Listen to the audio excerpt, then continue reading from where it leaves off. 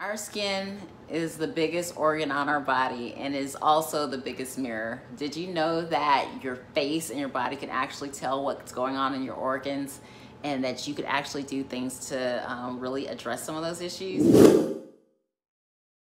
Hi everyone, this is Sharon from rawandawesome.com and today I want to talk a little bit about skin mapping and how juicing can actually help to give you nice glowing skin. Mm, mm, mm. I juice all the time. Can you tell? Can you tell? Can you tell? Anyway, so uh, I don't know if you are familiar with skin mapping or, you know, some Chinese face reading, but there is kind of said that different areas on your body, um, on your face where you get blemishes actually show um, what organ that could be affected. So for example, in this area right here, you might have some issues with your lungs. So for example, when I did my three day juice fast, I started, you know, draining a lot of mucus because one of the things that detoxing does, it helps to release a lot of that. And lo and behold, yep, right here, I don't know if I still have it, but I got a blemish on the side of my cheek and there's different areas that you know are your spleen or your liver um, you know your your thyroids with your eyes. So there's different things. So if you get a chance google it but it's very very interesting.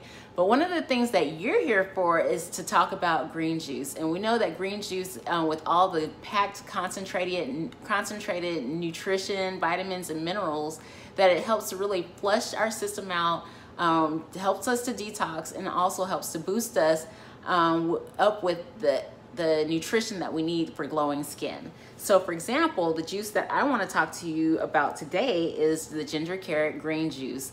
That juice is a really good juice. As we know, carrots are good for our eyes, and we know that ginger is antibacterial and it'll actually help to um, keep bacteria off of our face. Um, apple is also in this particular um, juice, and apple has pectin in it, uh, which helps to increase circulation and it also helps to um, the vitamin, the agents in apples help the vitamins and minerals to absorb efficiently in our body. So there's a lot of good nutrients and reasons why this juice really works for us.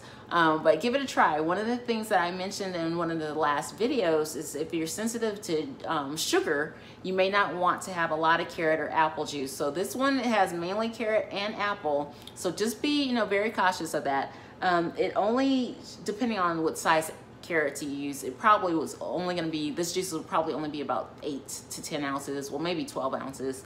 Um, so just keep an eye on it. You could always dilute it with water. The other juice is pineapple cucumber green juice. I'm sure that you've heard from just when you were young, you know, how if you put cucumbers on your eyes, it'll remove the um, puffiness and that cucumber's always been a product that if you want to have youthful, vibrant skin to include in your diet, that is still true. So um, this particular recipe um, has pineapple, has four to five large chunks of pineapple, half a cucumber and half an apple. And it's, you know, very refreshing. I mean, your mouth is probably watering right now. As we know, um, cucumbers have, you know, amazing source of potassium and vitamin C and also silica. Silica is needed for the construction of most of the tissue in our body and tendons. Um, and without our healthy tendons, your muscles wouldn't even be able to function and connect to a bone, um, to your bones. And so we want to make sure that we're having this. And as we're putting this nutrition in our body, and as we're seeing our glowing skin, we know that we're doing our organs well as good as well. So I just wanted to share this quick little tip, but basically if you want good glowing skin, make sure you're adding green juice to your diet.